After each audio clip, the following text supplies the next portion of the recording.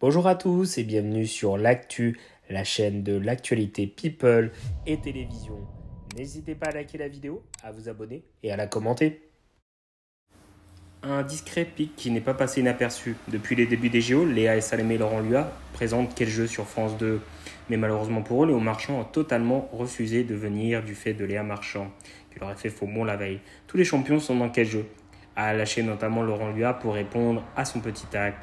En effet, il n'a pas du tout apprécié que le champion ne vienne pas dans cette émission. Merci à tous d'avoir regardé la vidéo.